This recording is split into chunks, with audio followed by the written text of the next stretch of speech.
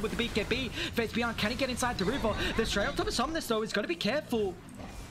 Can they bring him down a second time? However, they pop the Linken's on Arme, still continuing to man fight, nothing to say. Oh my god! The crit! Bye bye! You're out of here, dead for 85! What the hell? How much damage was that? Oh my god, 2600! What the hell?